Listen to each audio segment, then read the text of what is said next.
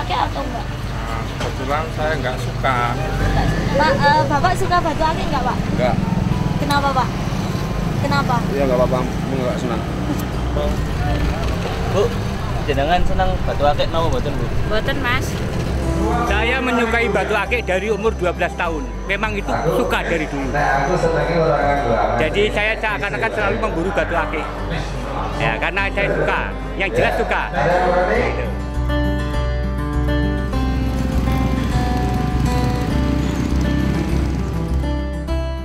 Batu akik merupakan suatu fenomena yang terjadi di kalangan masyarakat saat ini. Batu akik memiliki keistimewaan tersendiri bagi para pecintanya.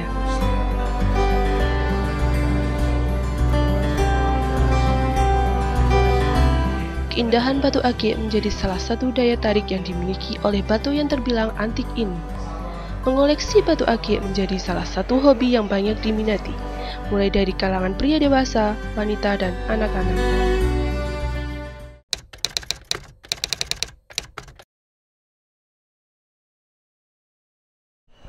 Sebenarnya fenomena ini sangat menarik. Artinya fenomena menariknya itu adalah jika dulu orang berkaca bahwa ah kalau kita e, butuh sebuah batu mulia, kita selalu ber, berpacu pada batu luar negeri. Misalnya kan Sri Lanka atau Burma. Dengan adanya boomingnya batu batu e, di Indonesia sekarang, paling tidak kita bisa mengangkat potensi setiap batu yang ada di Indonesia. Ya memang lagi membuming mas, cuma karena kabarnya batu akik itu kan dulu sempat musim ada tanaman-tanaman yang membuming juga harganya. Nah bedanya batu akik sama tanaman-tanaman yang dulu itu, batu akik itu nggak bisa mati. Kalau tanaman makhluk hidup atau apa bisa mati.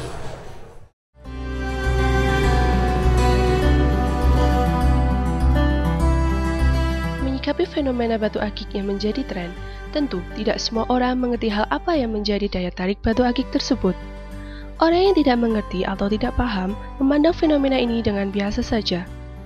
Berbeda dengan orang-orang yang antusias, sebagian dari mereka rela mengeluarkan banyak uang untuk membeli batu akik sebagai koleksi mereka. Tumbung dari Brasil harga dasar satu juta rupiah.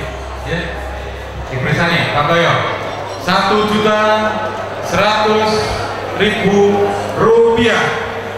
Kecubung Brasil. Oke, satu juta satu. Satu juta seratus, Bapak Suhartoyo. Untuk dana peng- pembelian batu akik, saya kira tidak tidak tidak etis kalau saya omongkan karena itu eh, menyangkut ekonomi. Tapi yang jelas karena senang batu akik jelas itu memerlukan pengorbanan yang jelas materi. Tapi nominalnya maaf tidak bisa saya ungkapkan.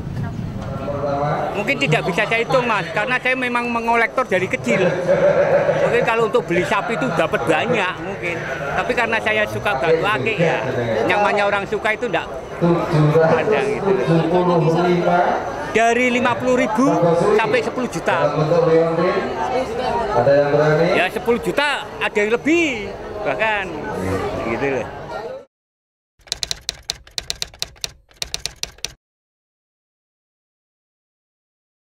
Baru satu tahun yang lalu. Mungkin berangkat dari hobi ya Mbak. Saya suka batu akik, tapi lama-lama eh, tidak sekedar hobi, la- hobi lagi, tapi saya kepingin eh, langsung berjualan dan terjun langsung ke dunia akik.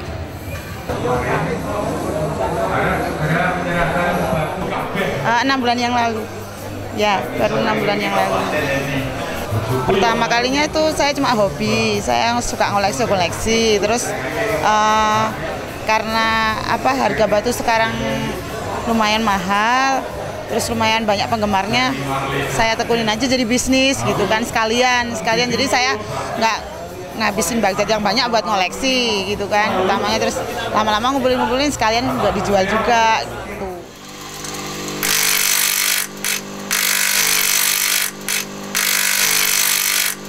Kurang lebih saya eh, menggeluti kerajinan ake ini empat bulan kurang lebih. Karena saya tertarik dengan trennya ake itu saya mencoba untuk membuat bisa tidak dengan alat yang seadanya tapi ternyata ya saya juga dan banyak orang yang eh, kas- eh, katakanlah suruh membuatkan ake pada saya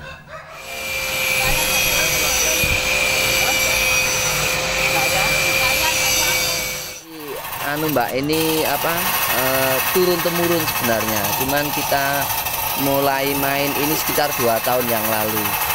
Jadi kakek nenek kita memang sudah ini main di batu akik. Terus sekarang kan lagi tren ini Mbak. Jadi kita mulai lagi. Kemarin sempat surut kan di batu akik ini.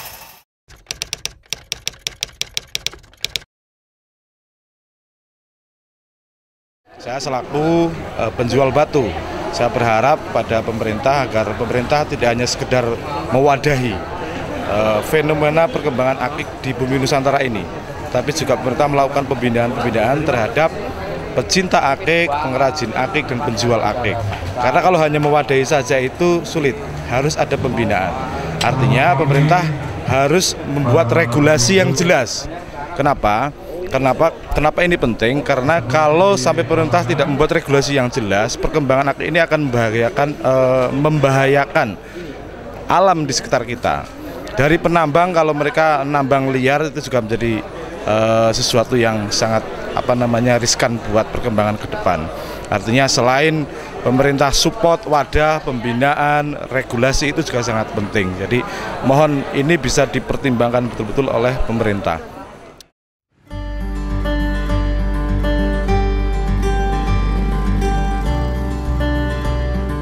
Ketertarikan batu akik ini memberikan dampak tersendiri bagi masyarakat, baik dampak positif maupun dampak negatif.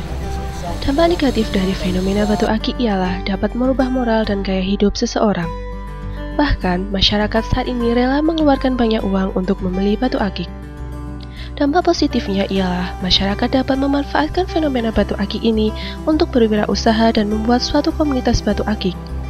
Dengan demikian, masyarakat dapat menjalin tali silaturahmi antar warga.